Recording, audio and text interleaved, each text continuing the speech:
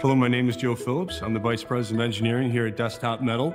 I'm here to introduce the S-Max Flex, our newest additive robotic manufacturing 3D printer.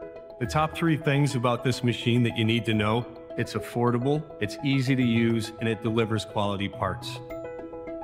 I want to go through the, the printer in detail now. What we've started with is really a titanium bar. We chose titanium because it has a low coefficient of thermal expansion, so it doesn't change size and shape as the temperature changes in your foundry. Now you get a nice flat continuous plane with a very well controlled offset between the print head and the bed.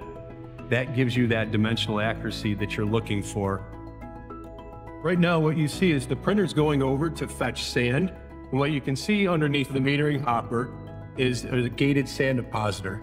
That gated sand depositor very quickly lifts that gate up, deposits sand into the metering hopper and fills it. You can see it only took a couple of seconds to do. That's really to make sure that the speed of the system is optimized.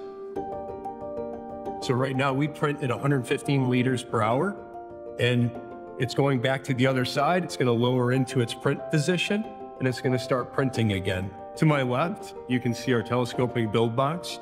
It's one meter wide, one meter tall, and 1.9 meters long. That telescoping build box is responsible for containing the sand as you print each layer. It basically indexes as you start printing your parts and you add to your, to your parts.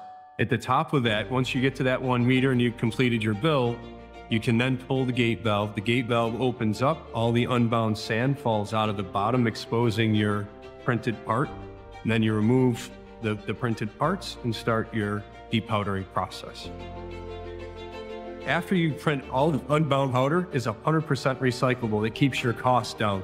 So once you extract your printed part, you recycle that sand, sift it, put it back into the system, and you're ready to print. That keeps your part cost down, and your price per cubic inch is very competitive with traditional core shooting. The high level, what you need to remember is this is affordable, easy to use, and produces high quality parts. Having this machine has showed us a different future in our business. We're able to um, produce uh, higher quality parts, parts that have more value added to them, more complex castings for advanced applications.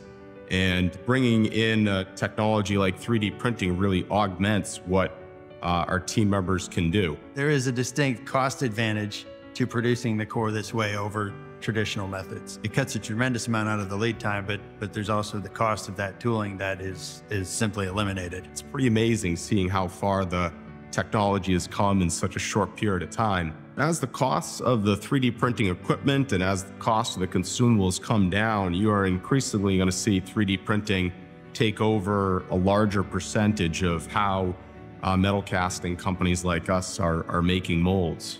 The advantages that it's provided for us and for our customers has been enormous.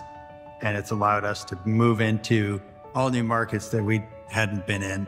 It's fun to come to work every day and to know that we can make nearly anything that we can imagine out of casting.